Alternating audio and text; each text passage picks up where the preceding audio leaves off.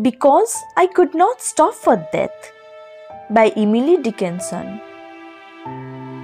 Because I could not stop for death, he kindly stopped for me. The carriage held but just ourselves and immortality. We slowly drove, he knew no haste, and I had put away my labor and my leisure too for his civility. We passed the school where children strove. At recess, in the ring, we passed the fields of gazing green. We passed the setting sun. Or rather, he passed us.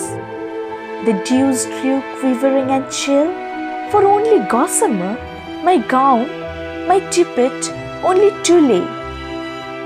We paused before a horse that seemed a swelling of the ground.